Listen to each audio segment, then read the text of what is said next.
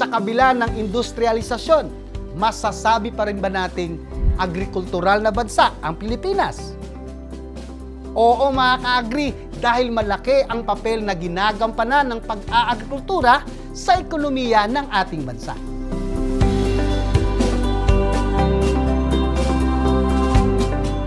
Milyong-milyong hektarya ng ating lupain ay nakalaan pa rin sa pagsasaka. Maraming mga kababayan nating Pilipino ang umaasa sa sakahan at maging tayong lahat ay umaasa sa kanilang produksyon.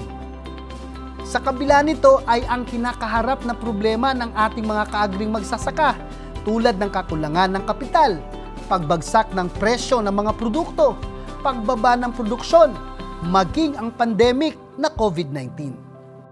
Kapag napabayaan natin ang hinaing ng ating mga magsasaka, wala nang maihahandang pagkain sa ating mga hapag. Food sufficiency and sustainability. Ito ang kailangan nating maging layunin. Masaganang araw mga kaagri, ako pa rin po ang inyong kaagring Ruben Gonzaga para magbahagi ng isa na namang agrokentuhan at agri-kalaman dito lang sa Syngenta Agri Eskwela. Dahil na pag-uusapan na rin natin ang seguridad ng pagkain bilang pangunahing layunin natin sa pag-aangat ng sektor ng agrikultura, iba't ibang pamamaraan, tulong at solusyon na rin ang naipaabot ng mga eksperto mula sa pribadong sektor at gobyerno para sa ating mga kaagring magsasaka. At ang isa sa pinakamahalagang suportang kailangan nila ay ang karagdagang kaalaman sa pagsasaka. Dahil umuusad ang panahon, nagbabago ang teknolohiya, kaya hindi dapat mapag-iwanan ang ating mga kaagring magsasaka. Kaya may mga inisyatibong tulad ng Syngenta Learning Center na naglalayong mabigyan ng kaalaman ukol sa mga bagong pamamaraan sa sakahan ang lahat ng kaagring magsasakang Pilipino. Ano nga ba ang konsepto ng Syngenta Learning Center o SLC? One-stop learning field ito para sa komunidad na dinevelop ng Syngenta Technical Agronomy Team merong field showcase para maipakita ang kahalagahan ng tamang pag-aalaga ng hybrid corn seeds upang mapasiguro na maaabot nito ang kanyang maximum yield potential. Magbabahagi ng mga agri-kaalaman base sa package of technology. At maipapakita rin dito ang full potential ng hybrid corn technology lalo na ng NK hybrid corn seeds. Sa pamamagitan ng SLC, magkakaroon kaagad ng kaalaman ang mga magsasaka tungkol sa kakayahan ng produkto na makakatulong sa pagtaas ng kanilang ani at produksyon. Maraming matutunghayan sa Syngenta Learning Center mga kaagri. Merong Technology Development and Learning Plots, Agronomic and Research Trials, at mga grower trainings Malaking tulong ang SLC lalo na sa lumalagong corn production ng ating bansa. Marami sa atin ang umaasa sa pagmamais bilang pangunahing pinagkukunan ng pangkabuhayan. Tinaguri ang cash crop ang mais dahil nagagamit ito sa maraming paraan at produkto tulad ng pagkain, pakain sa ating mga alagang hayop at iba pang industrial products. At dahil isa ang mais sa major agricultural products ng Pilipinas, maraming inisyatibo tulad ng Syngenta Learning Center ang handang tumulong sa ating corn growers para tuloy-tuloy ang masaganang ani.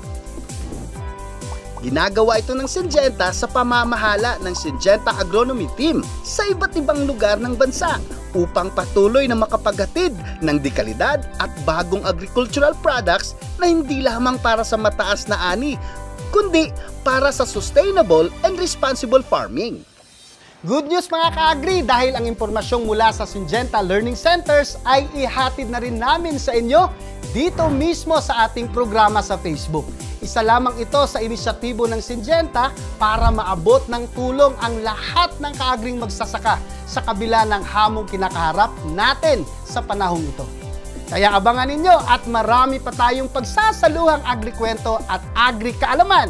Samahan nyo pa rin po kaming muli. Ako ang inyong ka-agri Ruben Gonzaga dito lang sa Syngenta Agri Eskwela.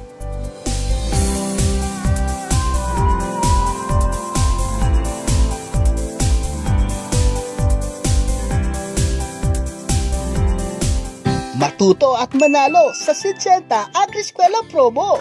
Kailangan lamang panoorin ang ating buong video at abangan sa huling bahagi ng ating featured episode ang tanong tungkol sa pinag-usapan nating agri-kaalaman.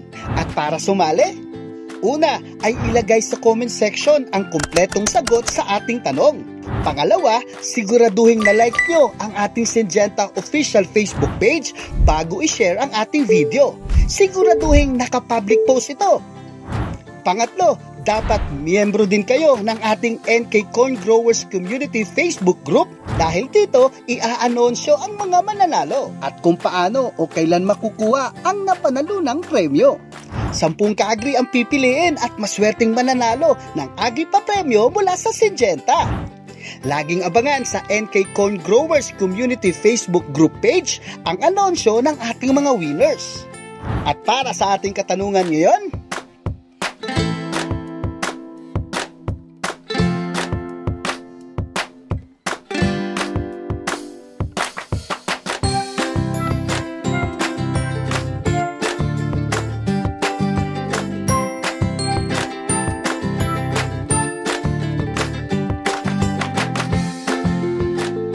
Kaya ano pang hinihintay nyo mga ka-agri? Sali na sa Syngenta Agri Eskwela, Matuto at Manalo Promo!